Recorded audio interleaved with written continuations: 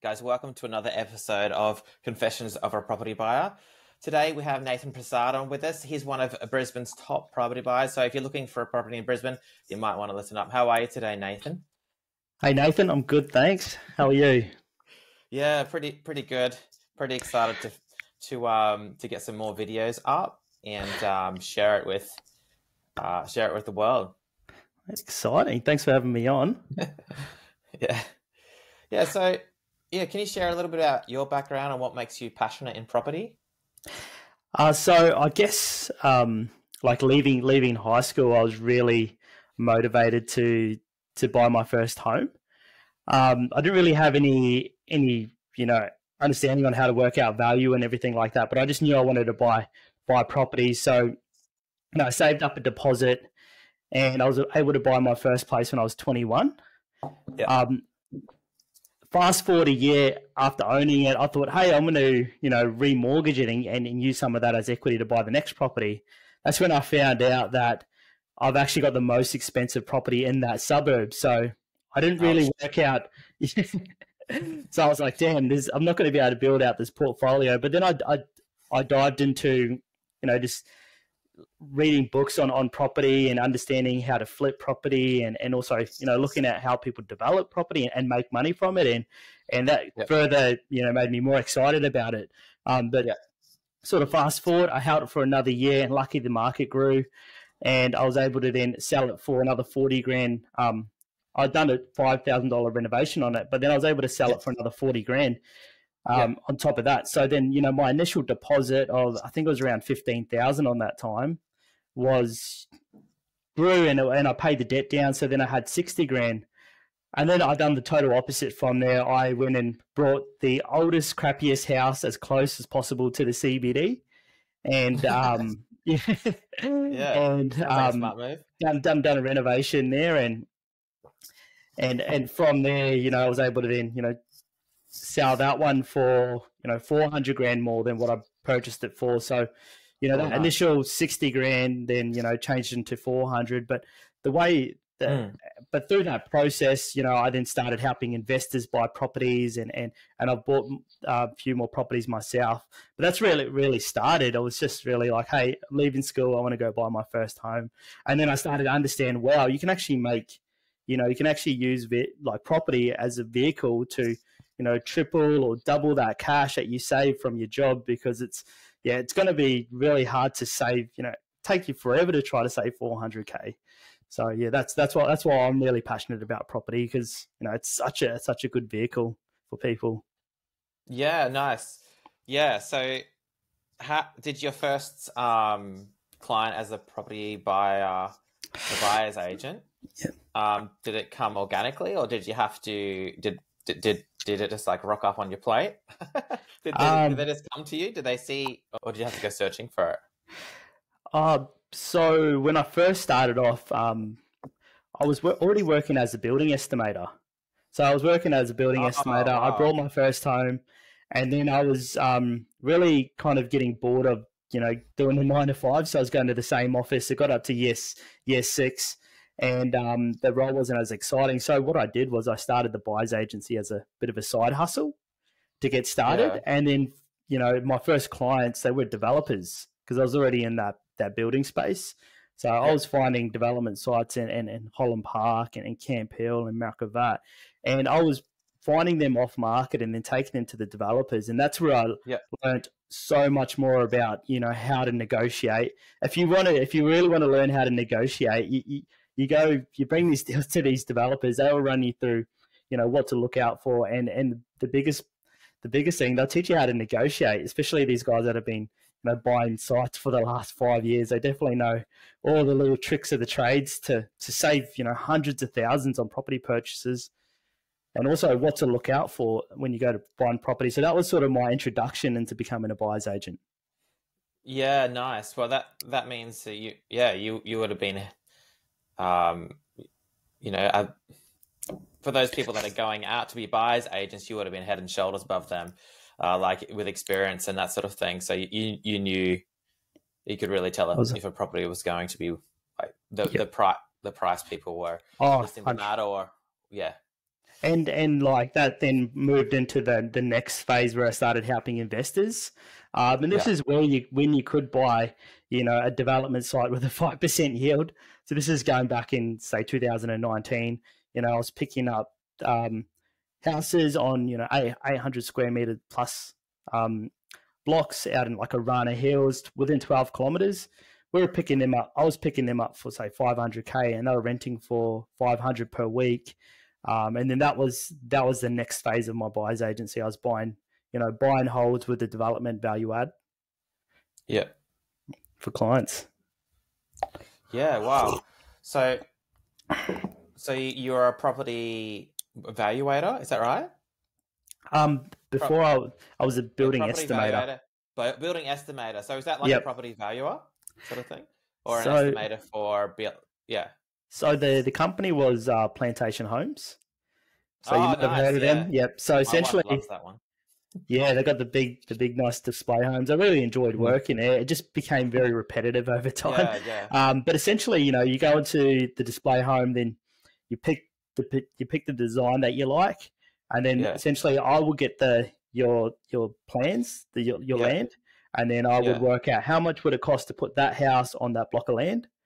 So yeah. it was, yeah, that's where I learned about, you know, looking at you know, the contours and, and retaining walls and, and soil reports. And that's the stuff that's probably like way too advanced for, you know, just finding a buy and hold is where I'm at at the moment. But it was, it just, it just gave me a really yeah. good understanding of, uh, but there is, yeah, but with, uh, with, um, um, new house on land, it, there is a big variance and, and there's a big unknown there. They don't know how long projects are going to take, oh. especially with um, especially with uh, you know the cost of um, building materials and that um, going all over the place, and you know so understanding that you know you look at something that's that an established building and it would be a little bit more you'd be yeah you know, de-risking the whole situation yeah yeah i think so, the best um one of the best stories that really you know whenever you're going to buy a block of land yeah. or you're going to find somewhere that you want to develop I would highly recommend getting a soil test done.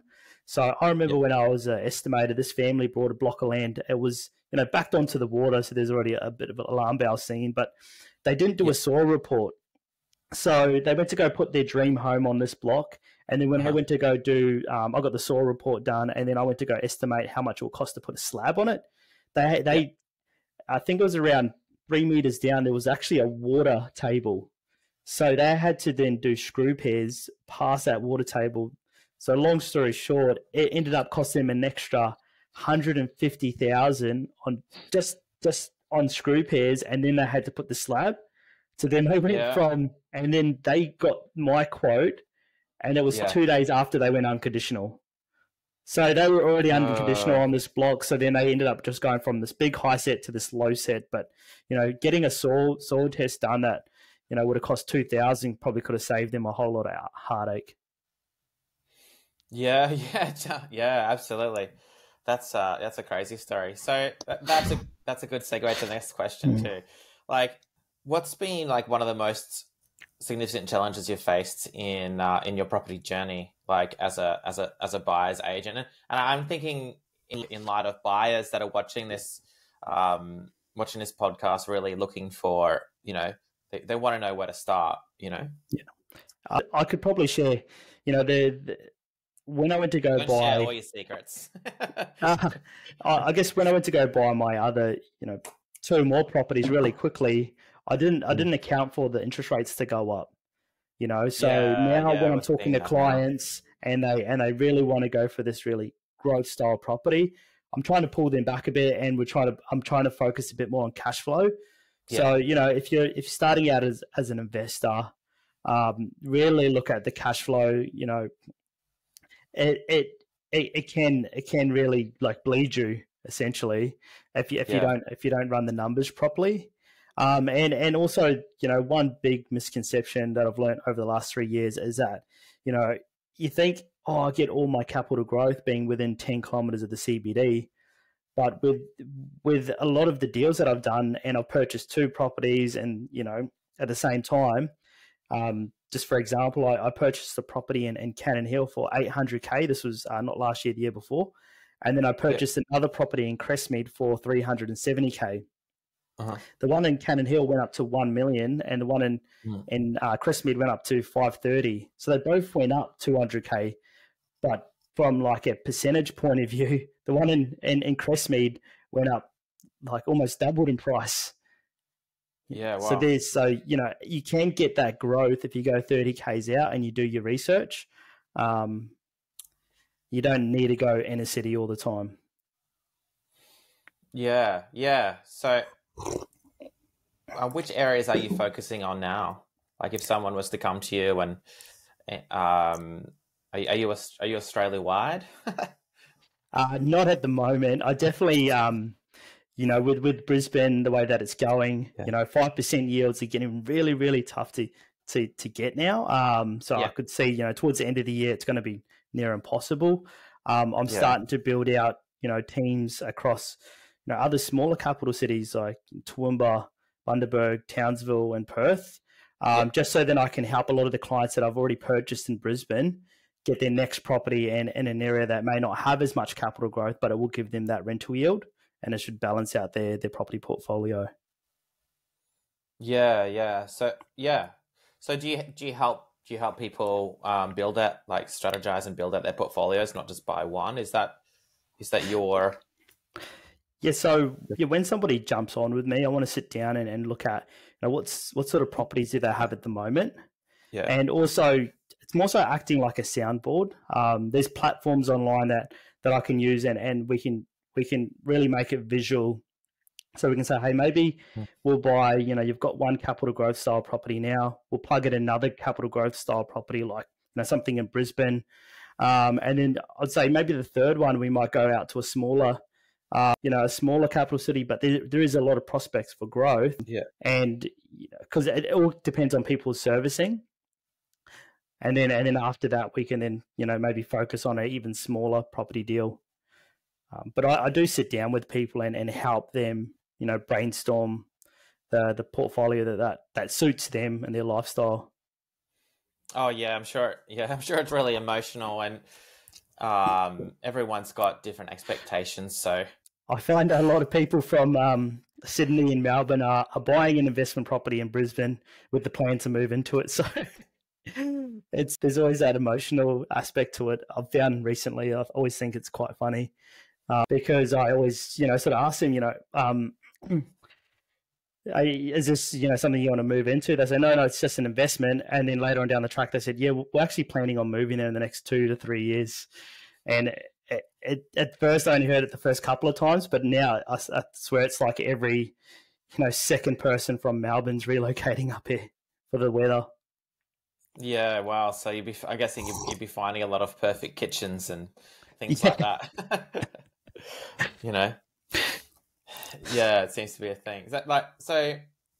What would you tell a first-time home buyer or investor about the process um, of buying to gain advantage over other buyers, and what might what might be yeah. some of uh, the misconceptions that they have? Uh, I'd probably always say to a first-time buyer, just sit down with a mortgage broker and run through all your numbers. Yep.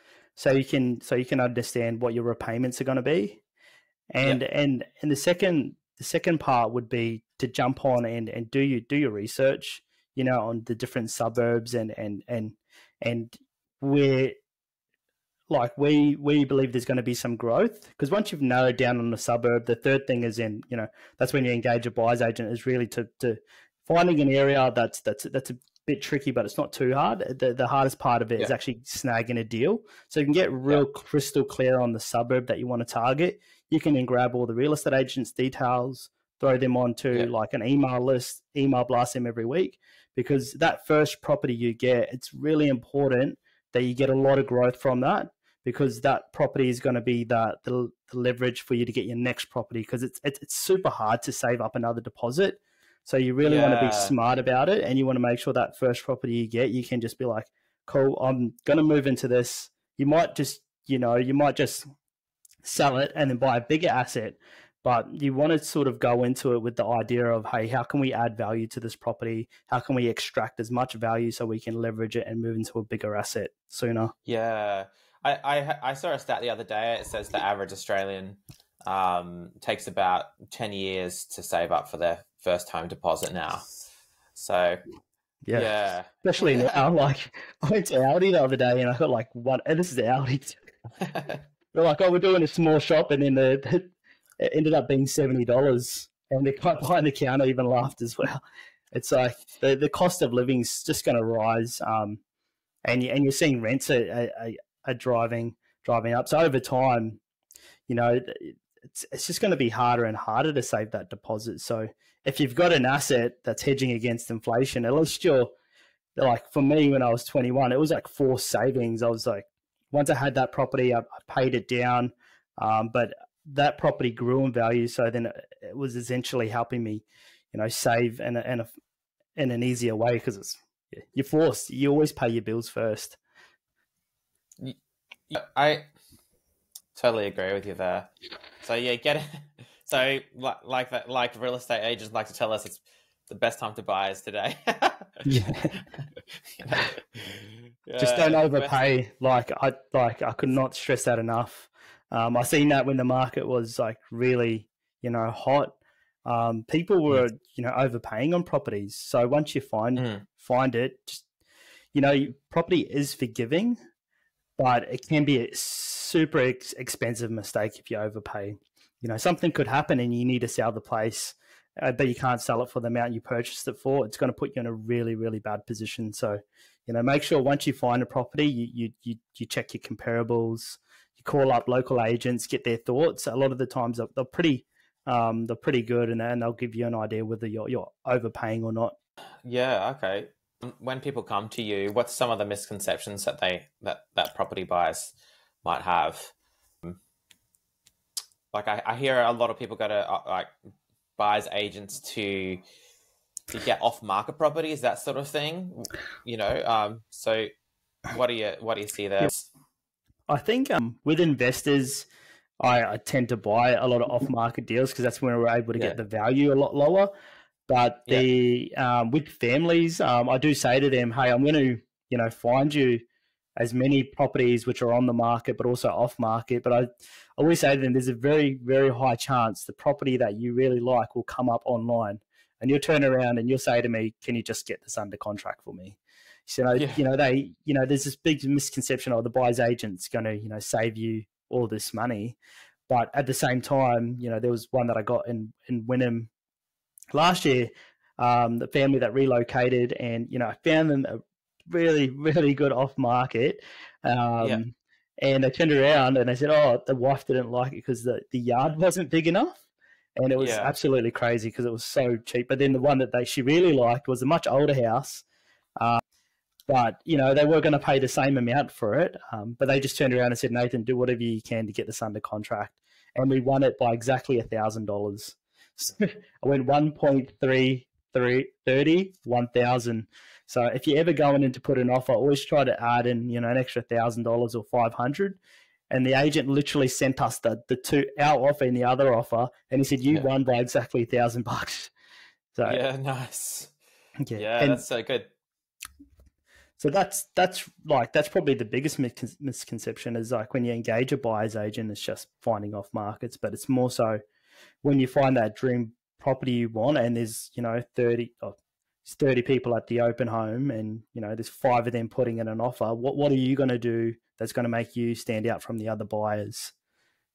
Yeah yeah. So that that that that raises a good uh, interesting question. So do you how do you feel like your um negotiation skills have gone over the last uh, the last few years um, you've been like a buyer's agent? Do you think do you think that's um, uh, made it easier to uh, deal with um, sales agents. Yeah, hundred percent. So yeah, um, you know, when it comes to um, negotiating, the first part is really understanding value around the property. So over yeah. time, you sort of craft your skill around how to work out a value for a property. You also look at where the value is at now, and you want to look at where the value may be in thirty days and then you grab all that information to then decide, hey, how much should we pay for that property? So that's that's probably the biggest portion when you're going online and you're fighting against other agents. Um, and then you sort of once you're talking to the agent, you just want to start stacking things against like I like calling it stacking. So you know you're building up the the relationship with the agent. Hopefully you've worked with them before, so then they can give you some inside intel. Um, you know, second thing, if it's if it's an investment property, you want to then say, hey, like you give them the management. That's another thing you can stack on top of it. Um, yeah, wow. another aspect is you know outlining why you're such a good buyer. So yeah. attaching a story to your contract. Yeah. And then, you know, adding some sort of pressure. So you're just so when you go to negotiate, you just keep stacking, stacking, stacking all these different, you know, components, yep. all these that then drives your your your contract ahead. So like I just got one under contract and and it was an off market property in Mount East and we weren't the highest offer. Mm. But I attached a story around, you know, we're not going to, you know, we're not going to play any games when it comes to the building and pests, which we didn't.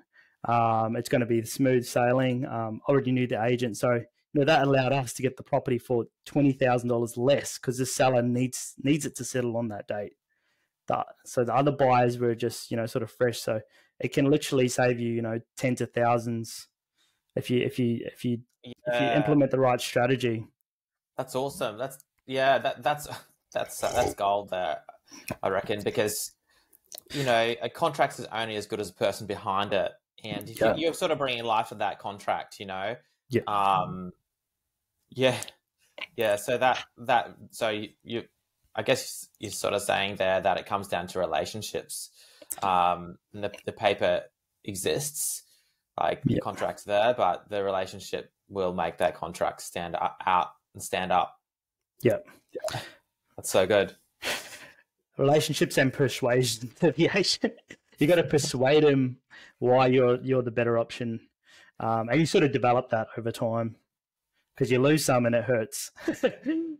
yeah, you and you go back to the drawing board. You know, not like you know your normal buyer will do this maybe you know three mm. four times over their life, but when you're negotiating on deals on a monthly basis, you're constantly going back and reiterating the way that you negotiated. Yeah. And you fine tune it. Yeah. Yeah. So pain's pain's a great teacher. Yeah. pain's the be- pain's the best teacher, you know. Uh, yeah. So I think yeah, it's definitely not not something they teach you at school, is it? the best way to people for what's the best way for people to find you? Um, and um, yeah, may, maybe think, um, maybe see what you're all about. Yeah, if, if, anyone wanted to go to the website, it's invisionproperty.com.au. Um, yep. Um, and, and they yep. can jump on there and I, I, post a lot of the property deals that I do on my Facebook page so they can just scroll through and they can see, you know, um, what sort of deals I'm doing. Otherwise, they can just seen that yeah, yeah, like you got yeah. It's I I had a quick look at your website and some of the some of the deals and uh, on there are, are pretty um pretty crazy. Like oh like, yeah, they're just you, you wonder how do you do that? Yeah, you know, so, yeah, yeah, yeah. Check out invisionproperty.com.au. That's that's it's worth having a look at to see what what's really possible. Um, you know, with an experienced buyer, you know, to get yourself ahead of the market. And um, you can also just Google. Hopefully, something good comes up. But yeah, no. yeah. So yeah, just um, either just reach out um, on social media or go to the website if you want to get in touch. And and happy to jump on a call and and and run you through you know my thoughts on on Brisbane at the time, and hopefully it gives you you know steers you in the right direction. Yeah, no worries. Well, thanks for popping on, uh, Nathan. It's it's been really good, really good to see how you how you think about property and how how we can get ahead with you. So, uh, I hope to catch you in person sometime. Perfect. Thanks, Nathan.